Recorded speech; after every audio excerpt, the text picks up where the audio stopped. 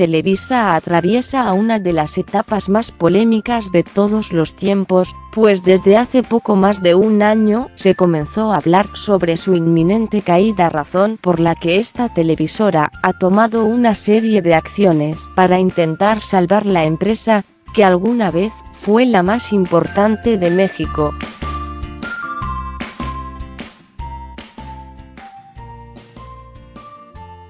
En esta ocasión se trata nada más y nada menos que de la hermosa actriz Ana Patricia Rojo, que ha participado en más de 26 telenovelas, la mayoría de ellas para Televisa.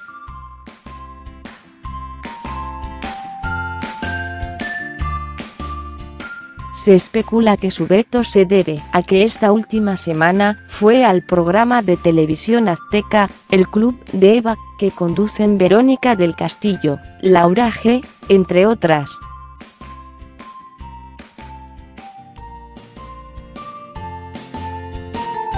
Sin duda alguna, los medios de comunicación y artistas aseguran que los vetos en Televisa regresaron, y se informó en diversos canales de YouTube de espectáculos, que este veto incluye a Matute y Ana Patricia Rojo,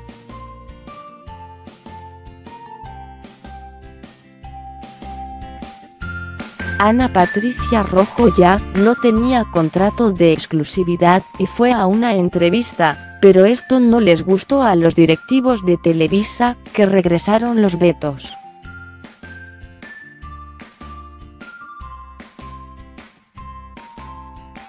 Hace apenas un par de días, informamos que Alfredo Adame había sido vetado de Televisa, solo por acudir a una entrevista a Televisión Azteca, sin embargo, este actor decidió salir en su defensa, y se hizo declaraciones en contra de Televisa, incluso les dijo mal agradecidos.